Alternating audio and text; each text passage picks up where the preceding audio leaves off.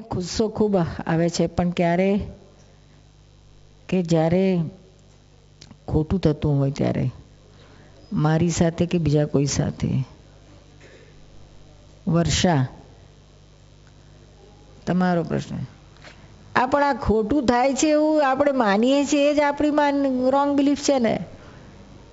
આપણા દ્રષ્ટિથી ખોટું થાય છે લાગે પણ સામે વાળી વ્યક્તિને તો એ સાચું જ લાગે છે ને. આ વ્યૂ પોઈન્ટ જ છે.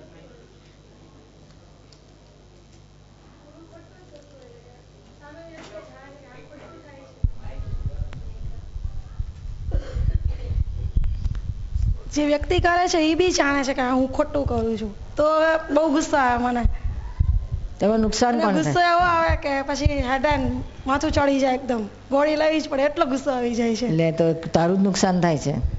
મને ખબર છે મારું નુકસાન થાય છે.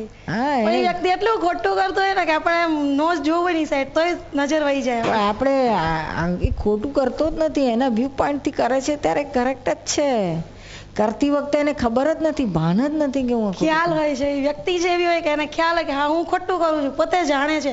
પણ એ વ્યક્તિને એવું કે મારો ઈગો ગવાય હવે તું ગુસ્સો કરું છે ખોટું નથી?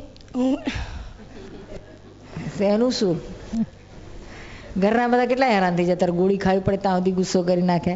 ના એટલે અંદર અંદર ગુસ્સો થયા કરે. એ હા, પણ વ્યક્તિને એ કઈ નહીં કહેવાનું. હા પણ એ ખોટું જ છે ને. એ તે ક્યાં સારું કરે? તું તારું ખોટું કરેલું જો ને બીજાનું ક્યાં જોવાનું? આ બધું ખોટું જ છે. શું નામ તારું? વર્ષા. હું વર્ષા છું એ ખોટું છે લે. વર્ષા તો નામ છે એ કેટલી વર્ષા હોય છે બોલ. તું કે હું વર્ષા બીજી કે હું છે ત્રીજી કે હું વર્ષા? કોણ સાચી અમે કોને સાચું માનીએ? બસ આ રિલેટિવ છે. નોટ રિયલ રિયલ સત્ય હોય તો માથું પછાડીને તોડી નાખીએ ચાલ ને સાચું કરા પણ આ તો રિલેટિવ છે. સાપેક્ષ સત્ય છે.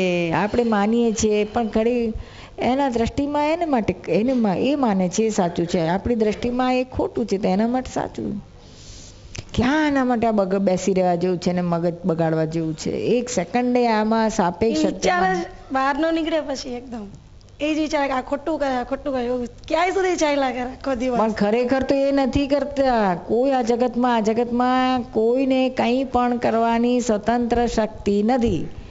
દાદા ભગવાન તો કહેતા હતા, આ વર્લ્ડમાં એવો કોઈ જન્મ્યો નથી કે જેને સંડાસ જવાની પણ સ્વતંત્ર શક્તિ હોય. બોલ, અટકે ત્યારે ખબર પડે. આ પૂછ ડાક્ટરને, બીજા ડાક્ટર પાસે જવું પડે કે ના જવું પડે, ગમે એટલા હોય તોય.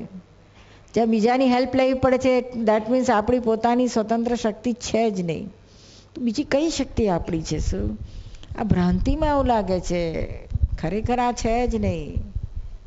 સમજાય છે ને? ખરેખર તો આ રિલેટિવ છે. કોઈ કરતા કરનારો છે જ નહીં, આ બધા સંજોગોના ધક્કાથી ચાલે છે. આપણા હાથમાં સત્તા નથી સામાના હાથમાં સત્તા નથી, કોઈ ભગવાનના હાથમાં સત્તા નથી. કોઈ કોઈનું કશું કરી ના શકે. હવ પોતપોતાના જ કર્મોના હિસાબથી કરી રહ્યા છે ભોગવી રહ્યા છે પૂરું કરી રહ્યા છે. એનો પાર આવે એવો નથી શું? પાર લાવો હોય તો આ કરી લાગે. સંજોગો એને કરી કરાઈ રહ્યા છે. બાકી જવા દો છૂટો. તમે છૂટો ને અમને છોડો. હા, કાલે જ્ઞાન લેજે મેં આ બધું મગજ ટાળું ટપ થઈ જશે. આ પ્રોબ્લેમ સોલ્વ થઈ જશે શું?